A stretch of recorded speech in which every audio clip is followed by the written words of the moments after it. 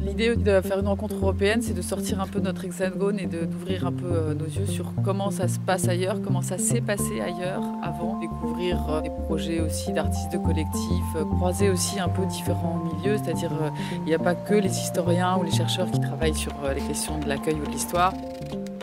Le théâtre du soleil, il y a en soi un symbole, parce qu'il était aussi le lieu de beaucoup de choses, beaucoup de luttes, beaucoup de, de pièces, beaucoup de rencontres. Au-delà euh, de l'action euh, dans l'urgence que nous menons, parce que nous devons la mener, il y a besoin aussi euh, d'expliquer et de remettre la situation dans laquelle nous sommes aujourd'hui en perspective de notre histoire et de l'histoire du continent européen. Aujourd'hui, il y a une forme d'urgence, d'enjeux renouvelés sur la question de la mémoire et de la transmission.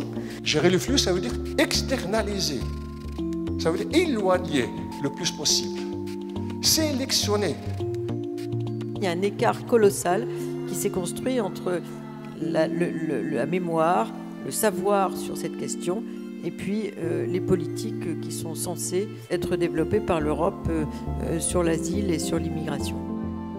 Cette capacité d'oubli d'une société européenne qui est extrêmement multiculturelle dépasse la mémoire, déforme l'opinion.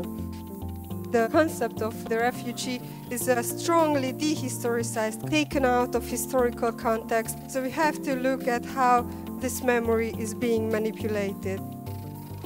Le repas de midi euh, confectionné par le collectif BAM qui fait tout un travail de solidarité et d'accompagnement des migrants. Donc c'est une équipe avec laquelle on peut dialoguer qui fait partie intégrante de cette journée. Les grandes villes européennes euh, vont avoir un impact sur la définition des politiques euh, nationales ou européennes. À travers ces objets, ben, on parle de la situation méditerranéenne, Lampedusa, avec un discours un peu plus critique. Et ces objets nous permettent de nous rappeler euh, ces codes. Pour le collectif Étrange Miroir, euh, c'est des projets documentaires sous des formes artistiques. On intervient autant sous la forme de spectacle, autant dans le milieu carcéral que dans des maisons de quartier, que dans des théâtres. On s'interroge sur l'évolution sémantique qu'il peut y avoir entre les termes étrangers, immigrés, migrants Immigration, émigration, migration. Transmettre l'histoire de l'accueil des populations étrangères, c'est sensibiliser à l'apport qu'elles ont eu et qu'elles ont encore dans l'histoire de France.